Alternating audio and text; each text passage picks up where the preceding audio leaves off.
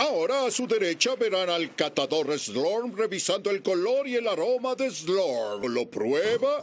¿Lo prueba? Quiero un Slurm.